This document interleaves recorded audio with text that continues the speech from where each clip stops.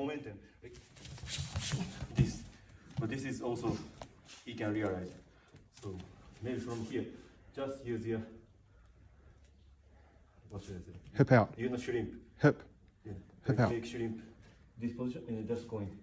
This is my image. Just try to lay lay down. Use body, not arms so much. Yeah, arm is just keep distance because if I get close, I can't do. He's hipping out at the Yeah.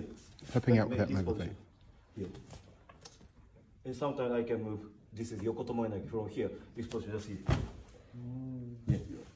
And just control. Turn left this time, right? Driving turn left. Mm. So, and then you can. Yeah. Give it a go. Yes. Try. Try, try, try. You were practice at, you're doing a Tomoe drill with Oh yeah. Yeah. He was landing on his feet. Yeah, yeah, yeah. It's good drill. Can you, can you? Yeah, can you so I, us? my favorite throw is like kind of tomoe nage. Yeah. But first start is maybe you can practice from this position and try to just sitting down. So just from here and then try to go this way. And then try up and then go back, back, back, back. And then you try to help me to stand up. Go up. So here, this position and try again. This up and then going back. Up. This position. Yeah. And then next one is from here, you just try to leg press.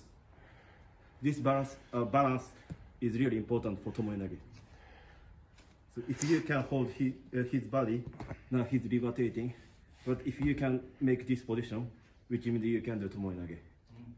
So, and the next one is I use a moving uchikomi little bit. So he tried to uh, kind of cartwheel as I try to Tomoe Nage. So here, this position. And go to this way. And then go stand up. And then, yeah, maybe I can go the way here. Good. And stand up. And then try again. This is good practice for tomorrow. Yeah. Good to. Yeah. Maybe no one knows.